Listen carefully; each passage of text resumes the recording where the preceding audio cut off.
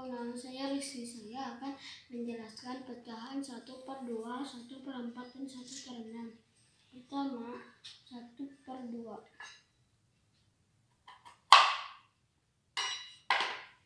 Ini adalah 1 per 2. Yang kedua, 1 per 4.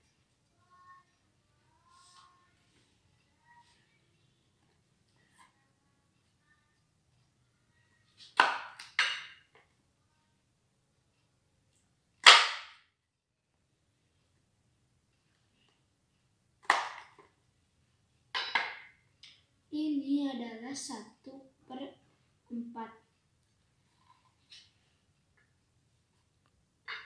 Sekarang 1 per 6.